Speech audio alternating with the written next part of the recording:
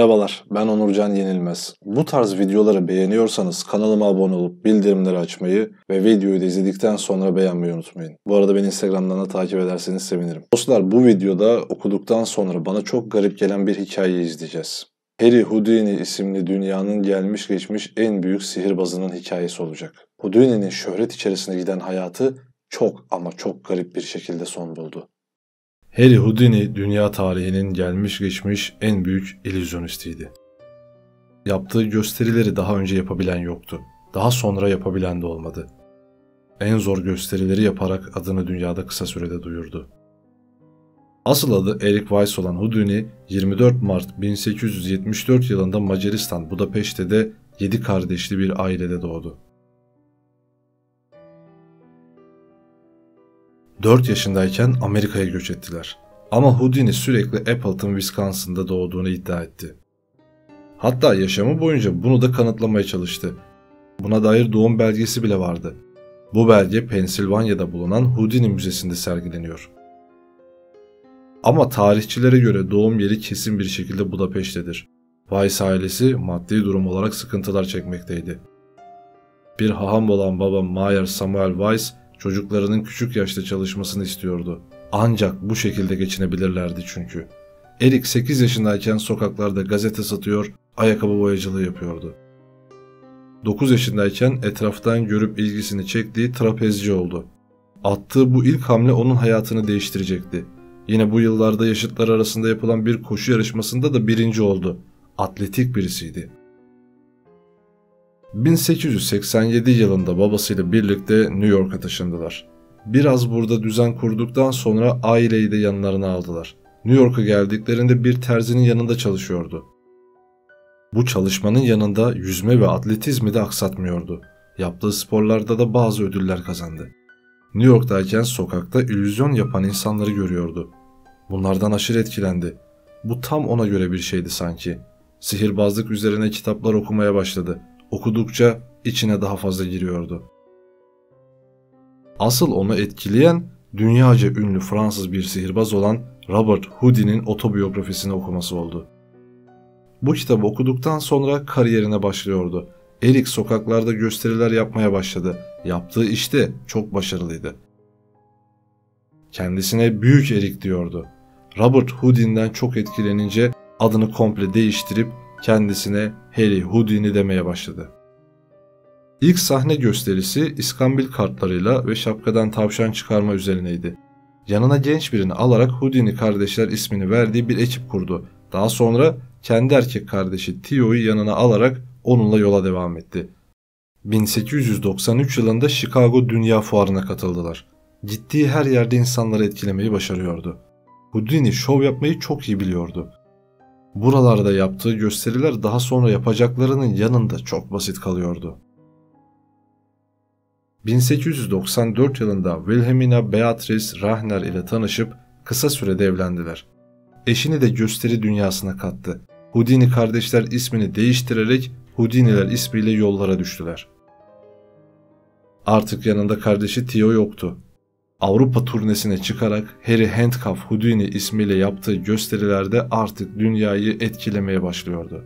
Gittiği her ülkede polislerin meydan okuyup kendisini kelepçeletiyordu. Ve bu kelepçelerden çok kısa bir sürede kurtuluyordu. Herkesi şok içinde bırakıyordu. Eşi Bess ile beraber Metamorfoz adı verdikleri gösterilerle yer değiştirip büyük bir şov yapıyorlardı. 1994 yılında Londra'da büyük bir gösteriye imza attı. Birminghamlı bir demircinin 5 yılda yaptığı özel kelepçelerle Hipodrom Tiyatrosu'nda bir gösteri gerçekleştirecekti. Houdini bu gösteriyi kabul etti. Bu büyük olay için 4000 izleyiciye bilet satıldı. Bu dönem için çok büyük bir rakamdı. Elleri kelepçelenen Houdini gösteriye başladı. İnanılmaz zor bir görevdi bu. Gösteri tam 56 dakika sürdü. Ama Houdini kurtulamıyordu. Bir ara eşi Bess sahneye çıkarak Houdini'ye bir öpücük kondurdu. Bu öpücükten 10 dakika sonra Houdini bu zorlu kelepçelerden kurtulmayı başardı. Gösteriyi izleyen kalabalık adeta yıkılıyordu. Houdini omuzlarda taşınıyordu. Artık önü alınamaz bir sihirbaz oluyordu. O sıralarda eşinin ona öpücük kondururken anahtarı verdiği iddiası da ortalığa atıldı ama anahtarın büyüklüğü düşünülünce bu imkansızdı. Şimdi daha zor görevlere başlıyordu. 1908 yılında büyük bir süt şişesinin içine ağzına kadar su doldurdu. Ve yine kendisini kelepçeleterek suyun içine bıraktırdı. İzleyicileri de kendisiyle birlikte nefeslerini tutmasını söyleyerek ortamı da bu gerginliğe davet etti. Houdini elleri kolları zincirli şekilde girdiği suyun içinden sanki hiç bağlanmamış gibi rahatça çıkmayı başarınca yine kalabalık ortalığı yıkıyordu. Bu gösteri birçok yerde tam 4 yıl boyunca sergiledi. Hatta daha da geliştirdi. Artık kendisini bir sandığa koyduruyor, sandığı da kalın zincirlerle zincirletiyordu. Bu sandığı denize attırıyordu. Onu izleyen tüm gözler sudan çıkamayacağını, artık ölmüş olabileceğini düşündüğü sırada Houdini o sandığın içinden çıkarak tekrar karaya dönüyordu. Hiç kimse bunu nasıl yaptığını anlayamıyordu. Sadece mükemmel bir şov izliyorlardı. Houdini ise şöhretine şöhret katıyordu. Artık Amerika'da onun adını duymamış kimse yoktu.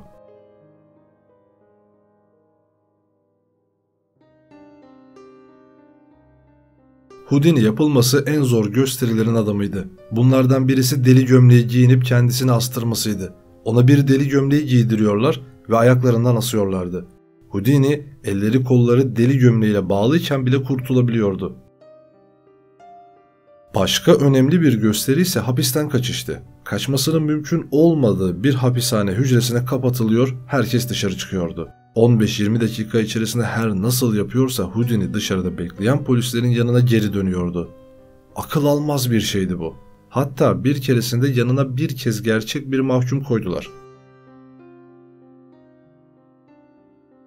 Kısa süre sonra geriye dönen görevliler Houdini ve mahkumun hücreden çıkmış koridorda dolaşırken buldular. İnsanlar onun ruhani yetenekleri olduğunu düşünüyordu. Bu arada Houdini de ruhani yeteneklerle ilgili birisiydi. Birçok medyuma sahte oldukları için kızıyordu. Onların sahtekar olduğunu söylüyordu. Onlara karşı bunu kanıtlamak için kendisi bu işe koyulmuştu. İddiasına göre başka boyuttaki insanlarla konuşabiliyordu. Eşi Bese eğer bir gün hayatını kaybederse onunla iletişim kuracağını da söylemişti. Bu da Houdini'yi daha korkutucu ve esrarengiz birisi yapıyordu. Popülerlik hastası olan Houdini 1916 yılında bu kez de sinema dünyasına atıldı. 1923 yılına kadar 5 sessiz film çekti. Çektiği filmlerin hepsinde kendisi oynuyor, bazılarının senaryosunu bile kendisi yazıyordu. Artık gösterilerini filmlerde de sergilemeye başlamıştı. Bu tanınırlığını daha da katladı.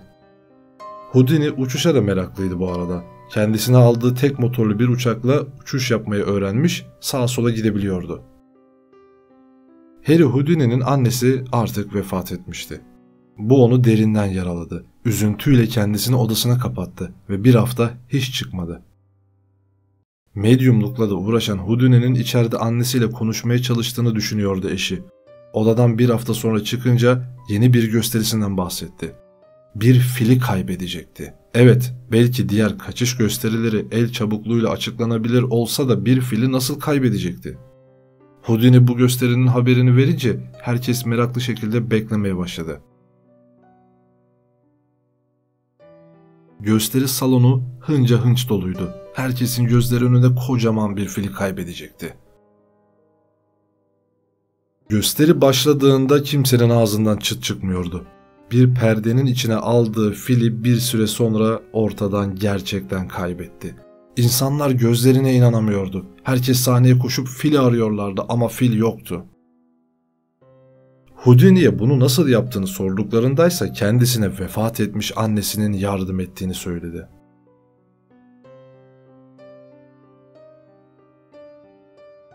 ...1926 yılında Houdini Kanada Montreal'de Princess Tiyatrosu'nda bir gösteri düzenleyecekti.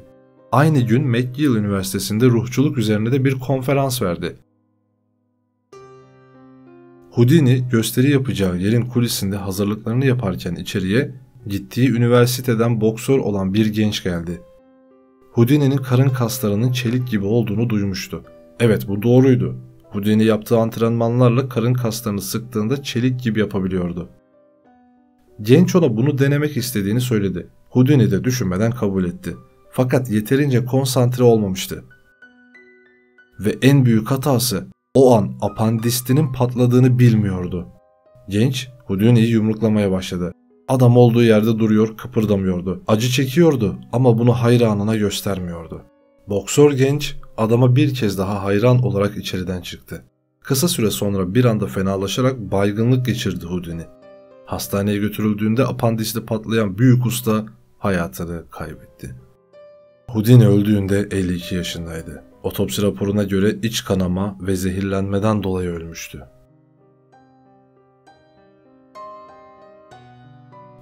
Olaydan sonra bir tanık ve araştırmacı olan Al Collier, Houdini'nin ruhçuluktan nasıl etkilendiğini açıkladığı bir röportaj verdi.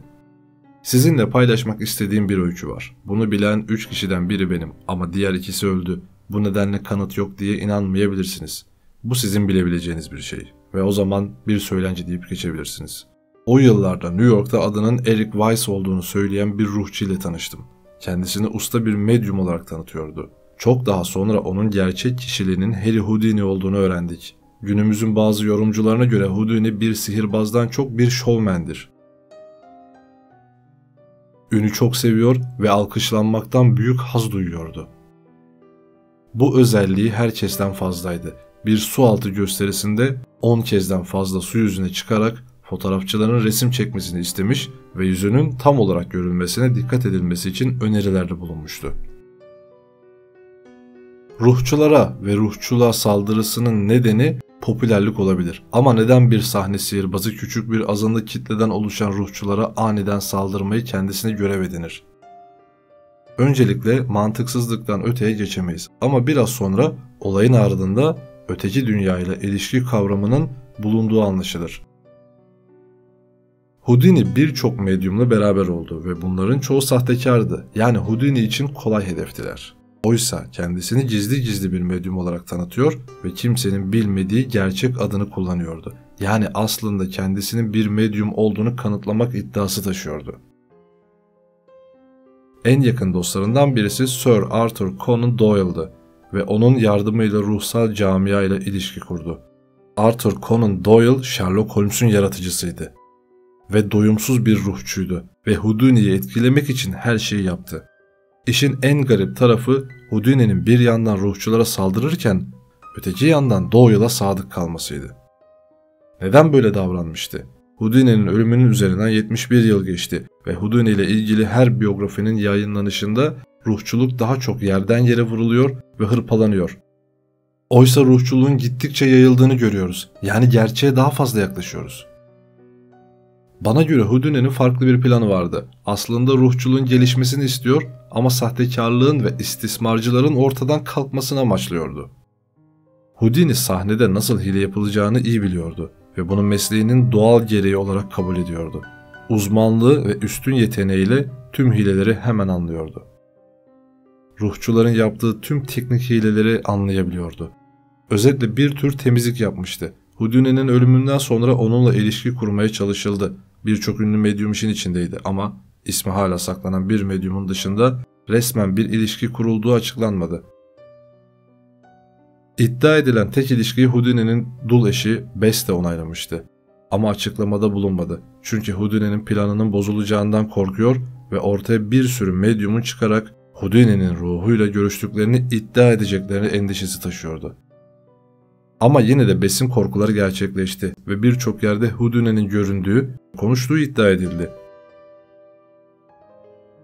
Ve eğer Houdini ölümünden sonra bir ilişki kurduysa son sözlerinde söylediği gibi bunu ancak Bess bilebilirdi. Ve galiba da kurmuştu. Çünkü Bess son günlerinde huzurlu ve mutluydu. Medyumları dolaşmaktan vazgeçmiş olarak buluşmaya az kaldığını söylüyordu. Son olarak Houdini'nin en ünlü sözü akla geliyor. Beynim beni özgür kılan anahtardır. Dünyaca ünlü sihirbaz Houdini'nin hayatı bu şekilde son bulmuştu. Kendisinden sonra bir sürü illüzyonist çıktı. Ama hiçbiri onun yaptıklarının aynısını yapamadı. Hatta David Copperfield bile. Bu videonun da sonuna geldik. Bir sonrakinde görüşmek üzere. Kendinize iyi bakın.